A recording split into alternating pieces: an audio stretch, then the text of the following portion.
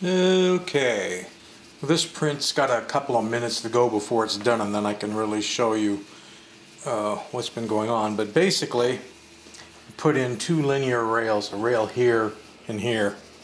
And we'll get into that. About a year ago I wanted to try as an experiment. This is a Prusa i3 MK3S. I wanted to do that update. Let's close in on these uh, pictures here. Like so.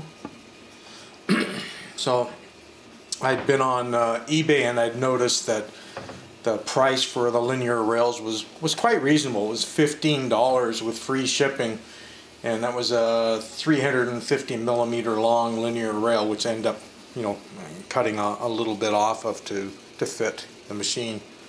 So I went and ordered two of those and uh, four T-nuts so I could secure them to the railing. So step one is of course is to, to take off the bed. And let's see if we can get this to go to picture two. So pulled all the bed screws and get you down to your to your raw bed. And hopefully that's showing up on the camera okay. At this point everything's together. I end up taking the front panel off and letting it drop down out of the way. It's going to make it a lot easier to uh, put the T-nuts in and all that kind of stuff. So here it is with the uh, the rail rods gone. That whole part of the, the aluminum frame for the for the bed is removed.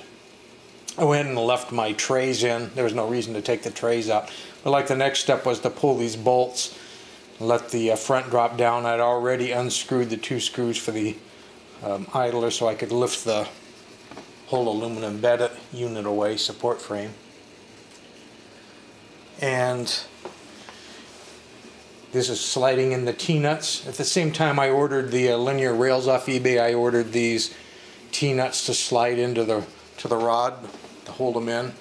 Just going to lay the linear rails right on top here. They'll they'll pass through these areas back here. And uh, I took the two rails out to the shop, measured the length that I wanted to, to fit in there, and cut them. You have to use a um, well, I'm not quite sure what, what they call it, but it's, it's a fibrous um, kind of blade, and you put it on your skill saw, and it's for cutting metal. Since it's uh, tempered metal, you can't cut it or touch it with a hacksaw. You can't even drill a hole in it. But uh, you get these really expensive fiber blades and put them on your skill saw, and you can cut them. So the first thing I noticed is that I can lay the rail in, and it would pass through the cutouts in the frame no problem, but the carriage would just hit. And I also noticed that the complete rail assembly is lower in profile than the total height that the old rod and the UM bearings did by about two to three millimeters lower. So I had two options at this point. One, I could file the edges down right where these carriages were hitting as they passed back, or I could go ahead and raise the whole thing up the two to three millimeters to make it the same height that it used to be in the first place. So I decided I'd raise it up. And I could have done that a couple of ways. I could have just put some flat washers under there and just raised the two rails up, but I didn't have any. But I did have some scrap aluminum, so I grabbed some uh, scrap aluminum, and in American terms it was like an eighth of an inch thick. And the width didn't really matter as long as it was as wide as the rails or a little bit wider. In this case it was wider popped a couple holes in it to match where we're going to run my T-nuts. Went ahead and painted it black so everything would uh, look better in the end. And slapped those down and bolt the rails right in. I think I used uh, 3 millimeter by 12 millimeter long screws out of the extra bag that came with the uh, printer. And I think we're getting, yep, so got them bolted down and then when to put the aluminum support frame back in, interesting thing is the uh, two holes that already exist in the frame where the U-bolts used to go, they're already spaced exactly right for the carriage bolts. And you can go ahead and, and drill the extra two and put four bolts in there if you want. It's kind of uh, unneeded though. So I went ahead and ran one of my carriages clear in the back and put the other one, you know, where it's going to be. But the interesting thing is when you put the one in the back and catch the holes, it ends up being exactly the same length in placement, physically placement, as if the UM bearing was still in there. And that's important because when this machine, you know, out of homes, it jams against the back support. So that all ended up being exactly the same. So homing works just like it should. The only tricky part about lining these up is when I put this first, I put this rail in first uh, by measuring front and back and everything, got it centered as well as I could, tightened it down, and then when I put this rail in, I used my, uh, you know, I measured from one rail to the other, front and back, so I knew the two rails would be perfectly perpendicular. It made it a lot easier when I went to tighten down on my uh, two carriages so that everything would roll super smooth and not have a problem. And it, and it does, it was real smooth. And basically just a picture of the machine together so you can see the two rails and of course you can see the machine is running over here right now. It should be uh, should be getting just about ready to finish up. Let's uh, then I'll probably have to go to handheld to uh, show you anything different than you haven't already seen.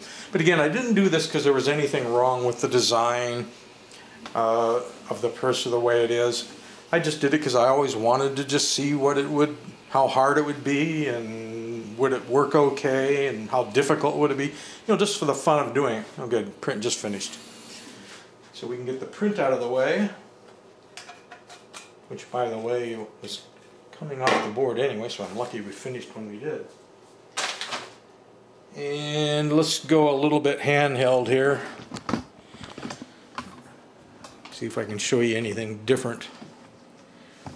And here you can see the, the rods in the back and how everything passes through.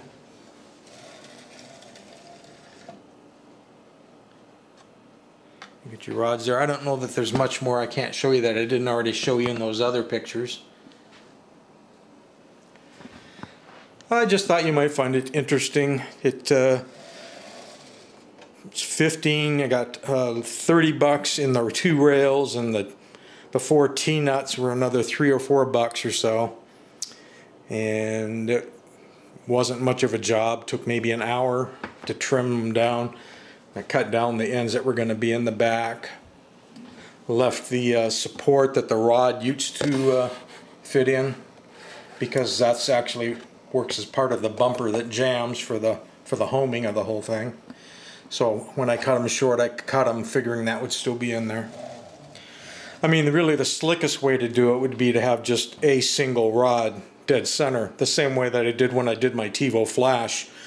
But in order to have done that, then I would have to relocate my, my idler and I would have to move the uh, stepper drive motor over and then that would make this slot would need to be a little bit wider because everything would have been moved over.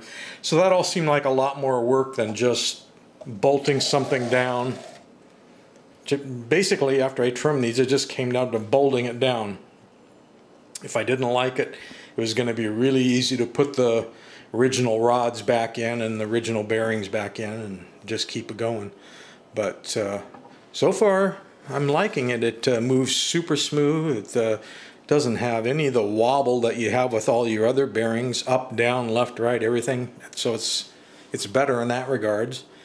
And it wasn't expensive. If you got an extra 30 bucks or so, you can find the rails and the T-nuts that you need to do it on uh, eBay. And they came really quick. They came in in less than a week.